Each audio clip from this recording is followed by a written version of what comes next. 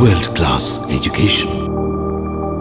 Hi, Happy happy greetings. greetings. I am Raja Ganesh I'm Raja Murugan. from grade 8B from Achariya Bala Shiksha Mandir, IIT Jigmar campus, Thengaithittu.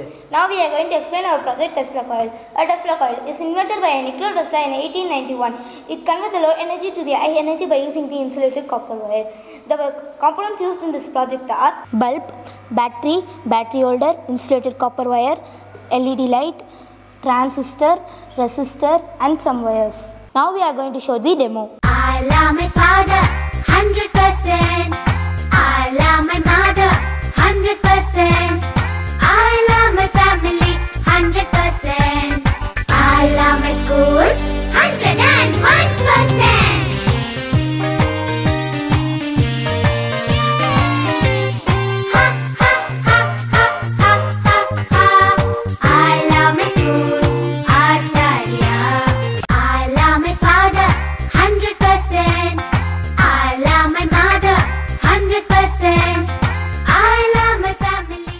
The objectives of this project are nowadays the mobile phones are releasing the wireless charging support. It is also the principle of Tesla coil.